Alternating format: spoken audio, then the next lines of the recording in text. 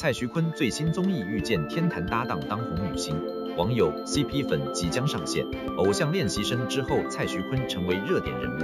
他凭借超群的唱功和舞蹈获得组合的 C 位出道。蔡徐坤的新综艺《遇见天坛》即将上线，之前的名字叫上新了古宫，由邓伦和周一围主持这档节目。蔡徐坤搭档迪丽热巴和其他常驻明星一起走进天坛，探索历史文化。热巴刚结束极限挑战的录制。相信她的表现和颜值会得到大家的喜欢，一起期待吧。